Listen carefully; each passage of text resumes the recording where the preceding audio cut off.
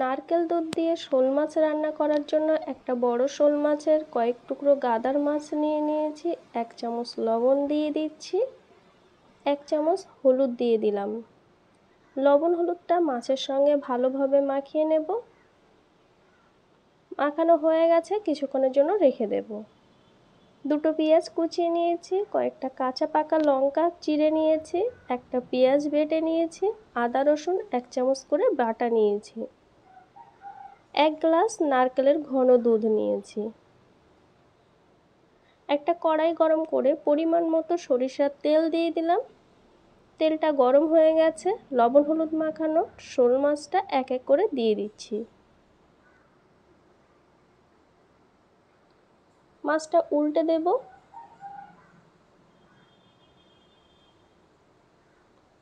দুপিটটা হালকা লাল করে ভেজে নেব। মাছটা ভাজা হয়ে গেছে, এখন এগুলো তুলে নিচ্ছি। ওই কড়াইয়ে অবশিষ্ট তেলের মধ্যে আরও একটু সরিষার তেল অ্যাড করলাম। তেলটা গরম হওয়ার পর কুচানো পেঁয়াজটা দিয়ে দিচ্ছি। পেঁয়াজটা একটু নেড়ে চেড়ে মিশিয়ে নেব। পেঁয়াজের কালারটা চেঞ্জ হয়ে গেছে, এখন এর মধ্যে রসুন বাটাটা দিয়ে দিলাম। রসুন বাটাটা একটু ভেজে নেব, কাঁচা গন্ধ চলে যাওয়া পর্যন্ত। এবার আদা বাটাটা দিয়ে দিলাম। একইভাবে আদা বাটাটা দেওয়ার পর আরও একটু নেড়ে চেড়ে নেব। পেঁয়াজ বাটাটা দিয়ে দিলাম। সব মশলাটা আরও কিছুক্ষণের জন্য মিশিয়ে নিচ্ছি। এক চামচ লবণ দিয়ে দিলাম। এক চামচ হলুদ দিয়ে দিলাম।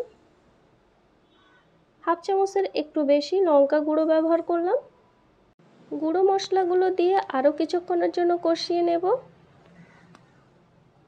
মশলাটার কষানো হয়ে গেছে, এখন এর মধ্যে নারকেলের দুধটা দিয়ে দিচ্ছি।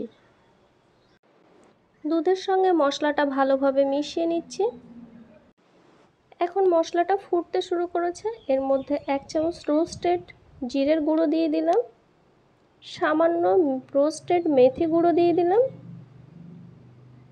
সমস্ত উপকরণ আরও একবার মিশিয়ে নিচ্ছি। মশলাটা থেকে তেল ছাড়তে শুরু করেছে। চিড়ে রাখা কাঁচা পাকা লঙ্কাটা দিয়ে দিলাম। ঝোলের জন্য পরিমাণ মতো পানি দিয়ে দিচ্ছি। কড়াইয়ের সাইডটা একটু ক্লিন করে নিচ্ছি।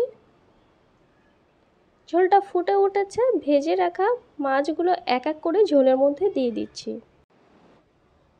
কিছুক্ষণ এভাবে রান্না করার পর ঝোলটা অনেকটাই কমে গেছে। এখন এর মধ্যে হাফ চামচ গরম মশলার গুঁড়ো দিয়ে দিলাম। এখন গ্যাসটা অফ করে দেব। শোল মাছের রেসিপিটা খাওয়ার জন্য একদম তৈরি হয়ে গেছে।